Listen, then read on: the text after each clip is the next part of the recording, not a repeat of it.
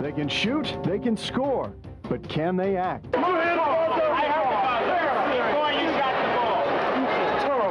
We'll take you to Tinseltown in the set of Billy Crystal's new movie to find out why the Suns are suiting up for a shot at stardom. The Valley's only prime time news with John Hook, Susan Taylor, and special correspondent Steve Kraft.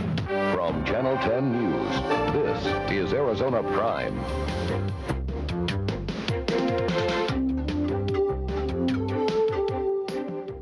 Good evening. I'm Susan Taylor. And I'm John Hook. Welcome to Arizona Prime. And they're stars in the NBA, but Sir Charles, KJ, and Thunder Dan shining on the big screen. A behind the scenes look as the Suns go Hollywood later on Arizona Prime.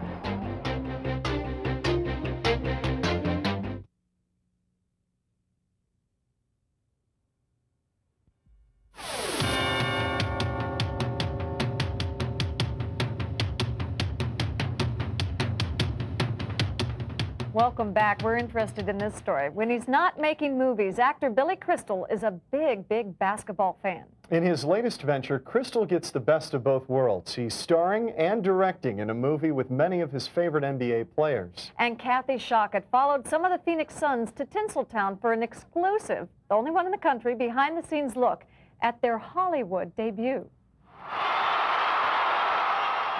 KJ swings it out to Barkley at the top of the key. Thomwell sets a screen for Barkley, and Barkley hits a jumper at the buzzer. Wait a minute, Thomwell? And who's that high-fiving Barkley? The Suns uniform says Gifford.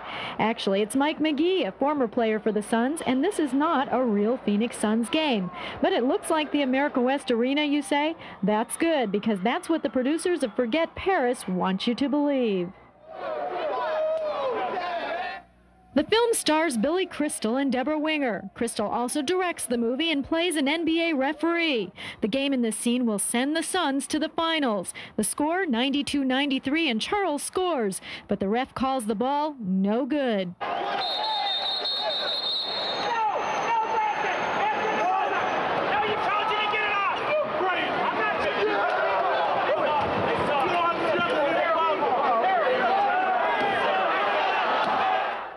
Bringing in NBA players from several different teams to play themselves is a slam dunk. But it was the film's executive producer, Peter Schindler, who had to map out the game plan. And I have to sit there and figure out, I get a preseason schedule and figure out which days I can rent a venue.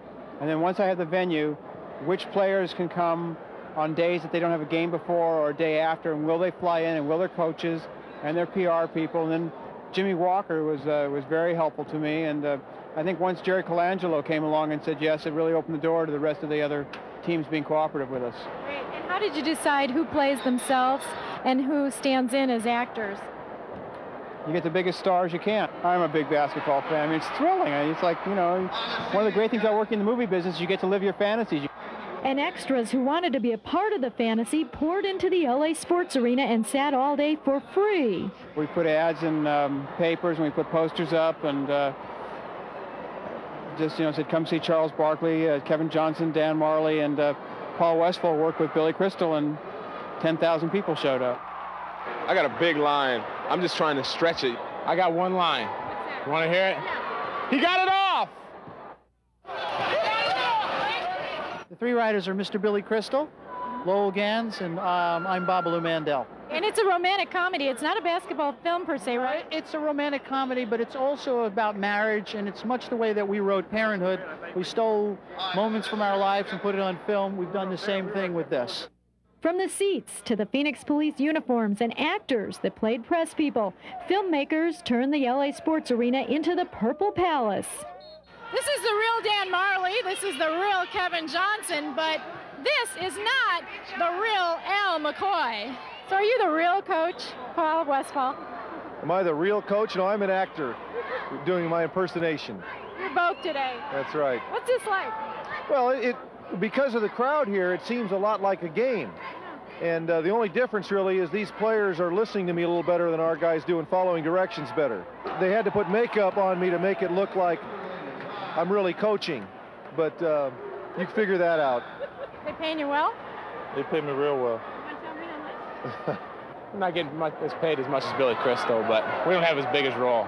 We're not going to have to carry the movie like Bill and his boys are, so they got the pressure. We just get to have fun. Fun, and by the end of the long day, there was a special camaraderie between Crystal, his crew, and the Suns.